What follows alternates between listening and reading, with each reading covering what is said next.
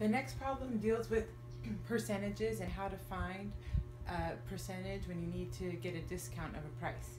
So this says doctors who buy duty shoes pay $86.25.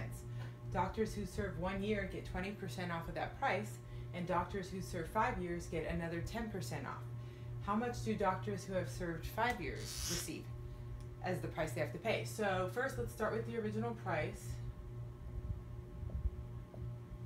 And we want to figure out if they only served one year, they're going to get 20% off. So we're going to multiply by 0.20. So when you have a percentage, you just go over two times and you turn that into a decimal. So now we're going to multiply. A Zeros here, so it's going to be 0, 0, 0, 0. Next row, 2 times 5 is 10. 2 times 2 is 4 plus 1 is 5. 2 times 6 is 12.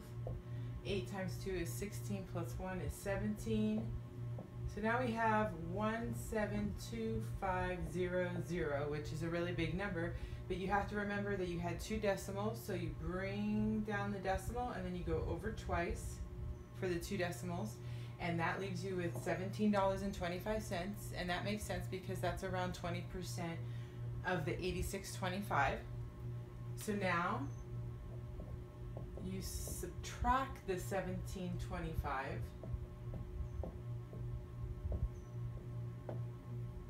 from the original 8625.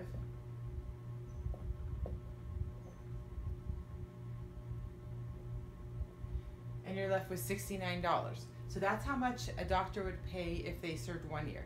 If a doctor serves five years, they're going to get another 10% off. So you want to do the first step with the doctors who served one year first, then the other step with the doctors who served five years. So based on our new price of $69, we're going to do another 10% off of that.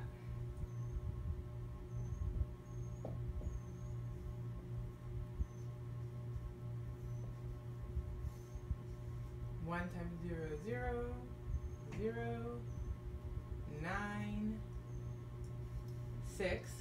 So remember we go down and we go over twice because we had two decimals and we have $6.90. So $6.90 is 10% of the $69. So we have to subtract that from 69.